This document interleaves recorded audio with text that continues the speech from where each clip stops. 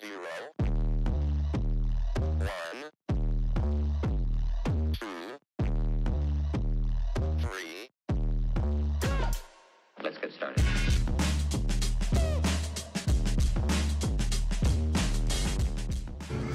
Maybe the extra large might work.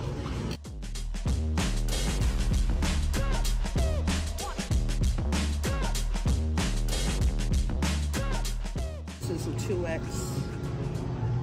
I'm so short.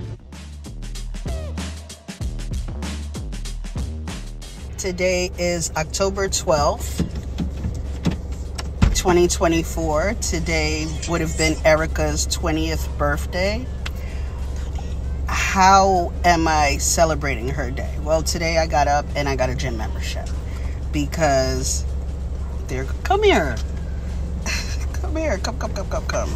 Because oh my God, this is my this is Jonathan. For those that followed me on YouTube, this is Jonathan. This is crazy. This is 16 year old about to be 17 year old Jonathan.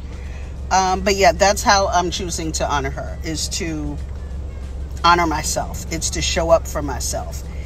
Um, it's to choose life for myself.